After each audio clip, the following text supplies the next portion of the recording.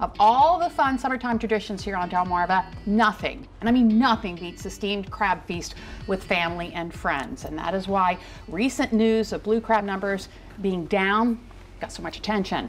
It even raised the prospect of some future summers without those scrumptious crustaceans. So the question you and I are asking is what's the problem?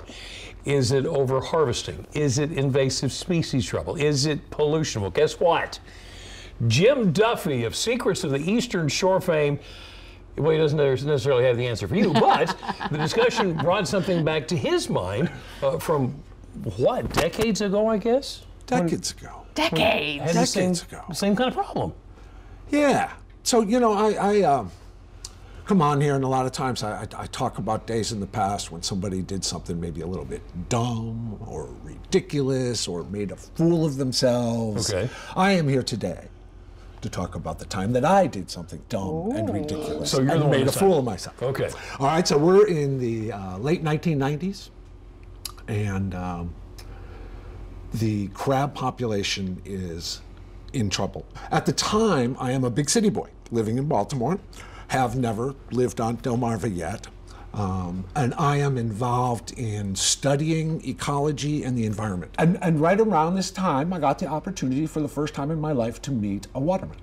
A magazine up in Baltimore hired me um, to do a little piece about going to Tilghman Island. Right. And in the process of doing that, I got to go out with Captain Wade Murphy, on the oldest skipjack of them all. Oh my! Rebecca T. Ruark. Yeah. Have you ever met Captain Murphy? Yeah, yeah, yeah. yeah, yeah. So he takes he takes this city boy out and he's pulling up an oyster and putting hot sauce on it, and it's great. But he's in a very cantankerous mood. He's really, really upset. And he's going on and on about these things called ghost pots. Hmm. And they are like discarded or, or lost. whatever, lost pots that are sitting on the bottom of the bay and its rivers. So meanwhile, City Boy here is in the environmental world and studying everything. I've never heard of this thing.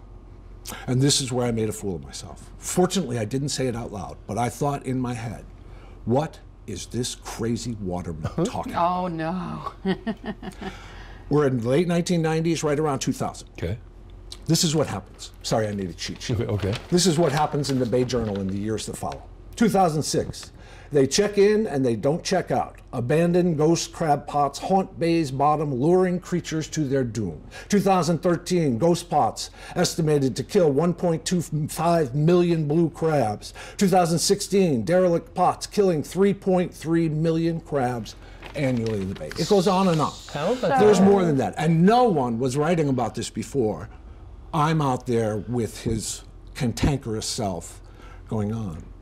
And you know, sometimes it seems it could be poultry growers or, or, or it could be watermen. Sometimes it seems like the environmental community and the uh, waterman community right. or the farming community, they're kind of at odds mm -hmm. and they're, and they're kind of like fighting with each other. And as the, the big city boy I was back then, I was only familiar with the one kind of science side of the argument. And so I come down here and I, and I kind of learned it. The generations, the lifetime on the water, there's like great wisdom and insight Not that did I didn't know until I made a fool of myself hmm. Not with Captain did, Wade Murphy. Not only did he know what he was talking about. Oh my God. And he's not crazy. He's not crazy.